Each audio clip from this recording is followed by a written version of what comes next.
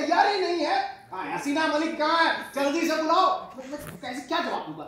ये कमिश्नर साहब को जवाब क्या दूँगा? हैं? क्या?